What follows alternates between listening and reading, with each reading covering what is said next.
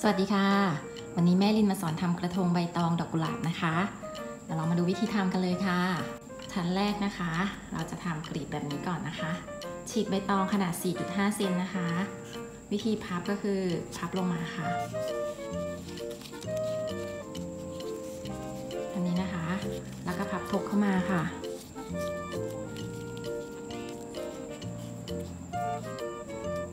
เสร็จแล้วเย็บนะคะ ไว้ก่อนค่ะ อันที่สองนะคะ แผ่นที่สองก็เหมือนกันค่ะ พับทบลงมาค่ะ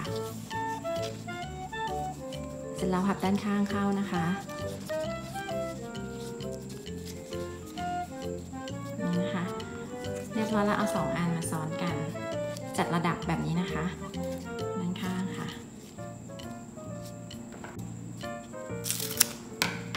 เย็บนะคะ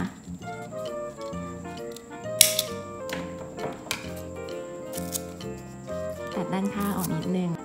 เรียบร้อยค่ะ เดี๋ยวเรามาดูวิธีติดกรีบชั้นที่ 1 ก่อนนะคะ วิธีติดกรีบชั้นที่ 1 นะคะ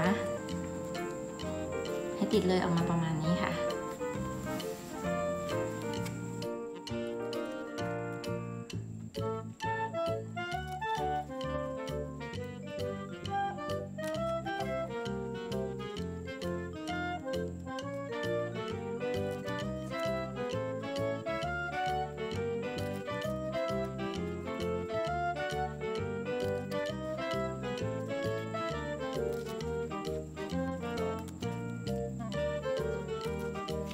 ชั้นที่ 1 เสร็จเรียบร้อยนะคะ เดี๋ยวต่อไปเรามาดูชั้นที่ 2 กันค่ะ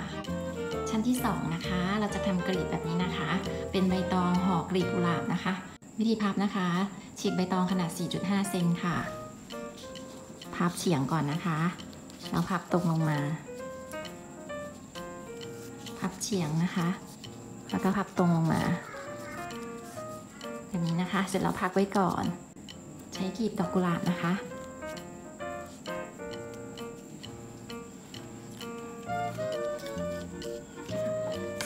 ตัดตรงโคนออกก่อนนะคะ ตรงที่เป็นสีขาวๆอะค่ะ ตัดเป็นสามเหลี่ยมไปเลยค่ะแบบนี้นะคะ เวลาพับเข้ามาแบบนี้จะได้พับง่ายๆค่ะ ถ้าเราไม่ตัดออก มันจะพับยากนะคะ พับเข้าแบบนี้นะคะ เสร็จแล้วเอามาวางบนใบตองแบบนี้นะคะ แล้วก็พับด้านข้างเข้า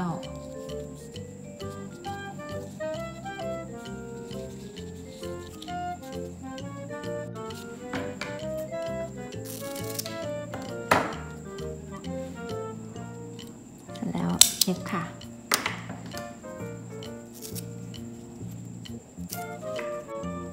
เสร็จเรียบร้อยนะคะ เดี๋ยวเรามาดูวิธีติดกันค่ะ ต่อไปเราจะติดติดแถวที่สองนะคะ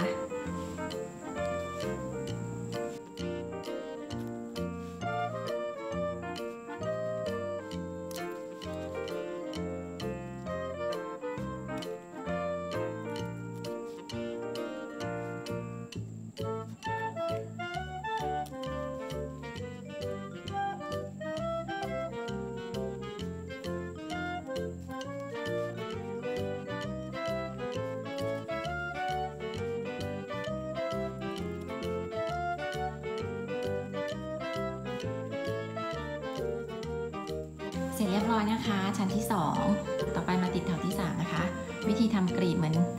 แถวที่ 2 เลยค่ะ วิธีติดนะคะแล้วเราติดสับวางนะคะ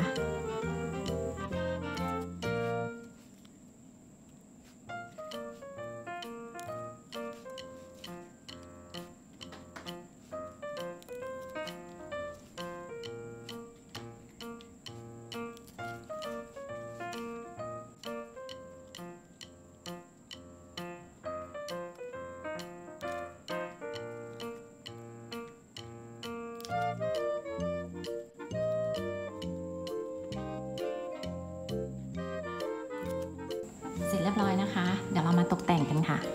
ต่อไปเดี๋ยวเราจะมาตกแต่งด้วยดอกกุหลาบนะคะ ให้ตัดก้านดอกกุหลาบให้ชิดโคนเลยนะคะ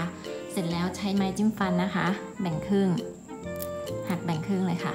ให้เอาไปจิ้มตรงตำแหน่งที่เราจะเสียบดอกกุหลาบให้เป็นรูก่อนนะคะ เวลาเสียบจะได้เสียบลงไปง่าย ๆ เสร็จแล้วให้เอาด้านแหลมนะคะ จิ้มเข้าไปที่โคนดอกกุหลาบแบบนี้ค่ะ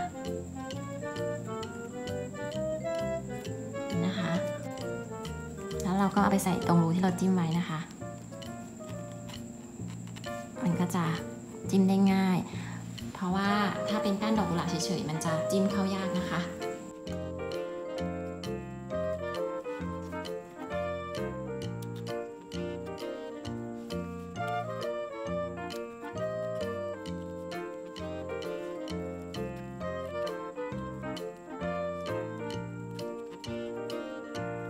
เสร็จเรียบร้อยแล้วค่ะ กระทงใบตองดอกกุหลาบค่ะ